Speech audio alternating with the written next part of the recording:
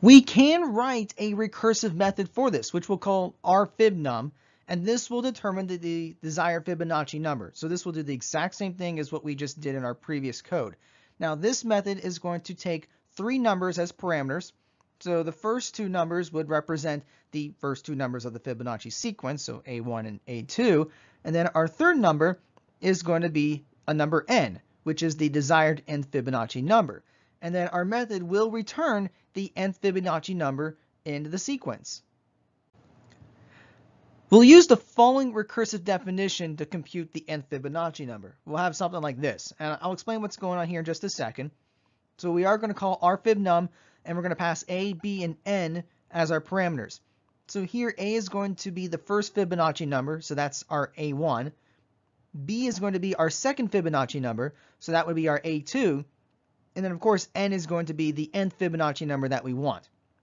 So now let's take a look at our definition. So if n is 1, that means we want the first Fibonacci number, which is, which is a in this case. If n is 2, then that means we want the second Fibonacci number. So that's going to be b. So then if n is greater than 2, well, we're going to have to do some computations to get that particular Fibonacci number. So we're going to have to do two recursive calls to make this work.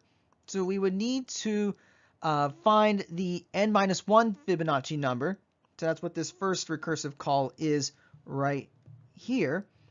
And then we need to get the n minus 2 Fibonacci number. So that's where this recursive call is doing right here. And we have to take the sum of those two. So like for example, if I want if n is 3, then this would mean that I need to get um, the first Fibonacci number and the second Fibonacci number.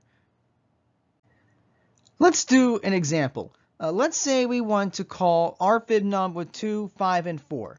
So what this means is A is going to be 2, B is going to be 5, so the first two numbers of our sequence are 2 and 5, and we want to find the fourth Fibonacci number.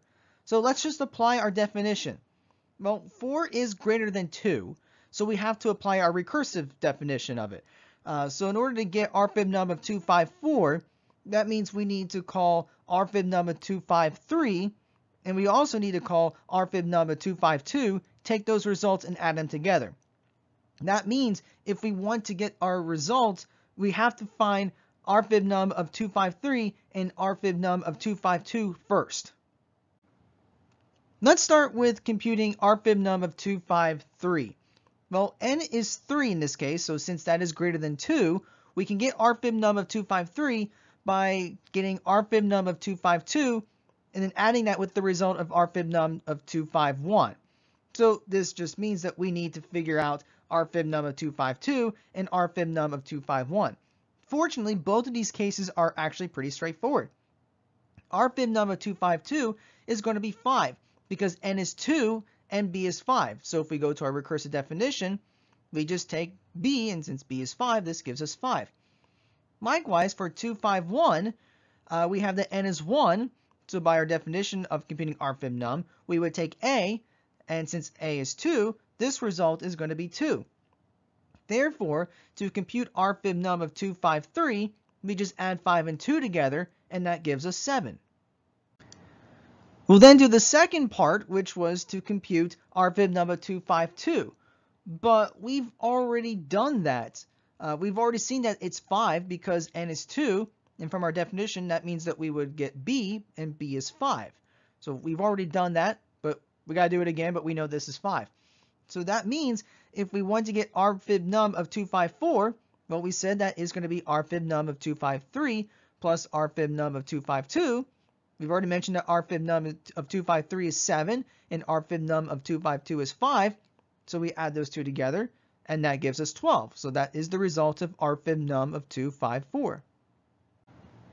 So here is the recursive method for finding our Fibonacci number. So we see that we have the two base cases. So here is the first base case where n is 1, we would return a. And then we have our second base case right here. So if n is 2, we're going to return b.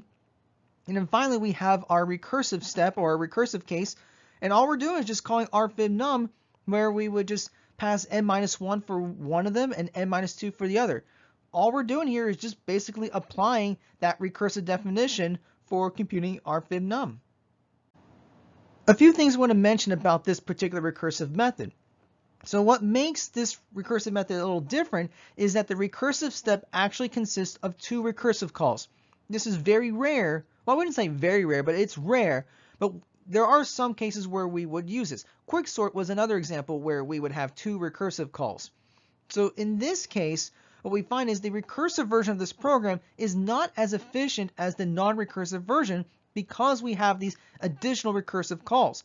And what we would find here, and we kind of saw in our earlier example, is that with the recursive version, some values are calculated more than once. Just to give another example, um, if we wanted to calculate rfib num of 235, we would actually calculate rfib num of 232 uh, three times. We saw in our earlier example to, if we want to calculate rfib num of 234, we actually had to calculate rfib num of 232 a couple of times.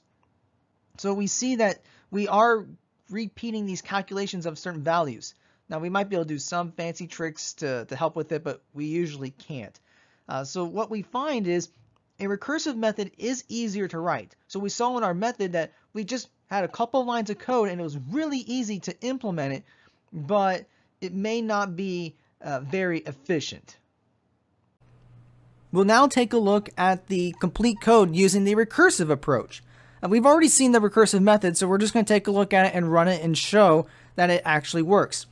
We're still going to use dialog boxes here, but the one difference I, I made with this code was that I did all the input and output inside main.